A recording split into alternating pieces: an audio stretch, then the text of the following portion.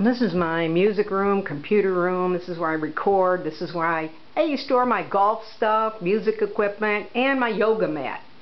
Of course, I get some of my favorite pictures here on the wall.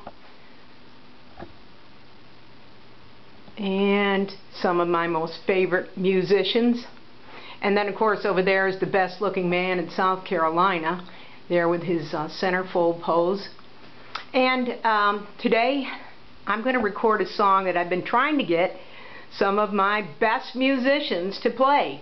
Now, um, not that I want to name any names, but some of these uh, great guitar pickers and musicians here have been a little bit reluctant to learn this song that I that I like to do. And they have a hard time picking up the uh, um, wildwood flower in there. So uh, I'm going to demonstrate that and then they can have this video so that they can um, practice it. Watch the chord changes, although I use a cheater and they may not. But uh, they're smart enough musicians to figure it out. I have great confidence in them. Okay. I'm going to send this movie to Tim Hutchins because cause he doesn't, he hasn't figured this out yet. But, but anyways, and, and I figured it out first guitar was a loner. Old friend, my cousin Rodney King.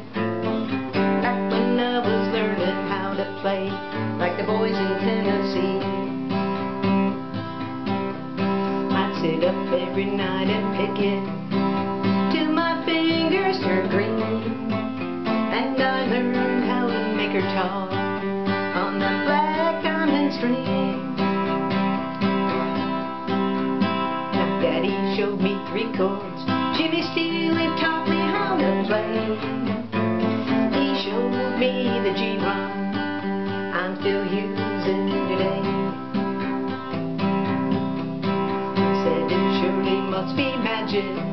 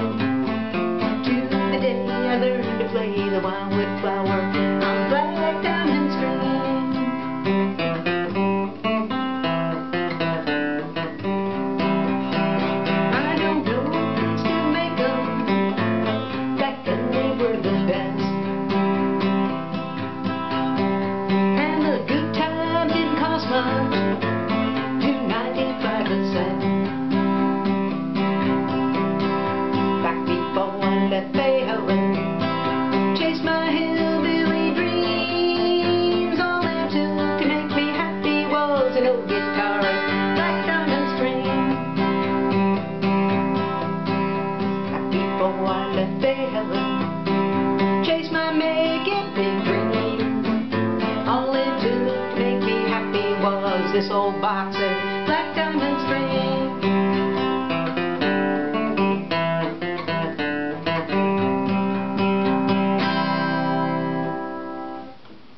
I have great confidence that you folks will be able to pick up on this and just do an awesome job.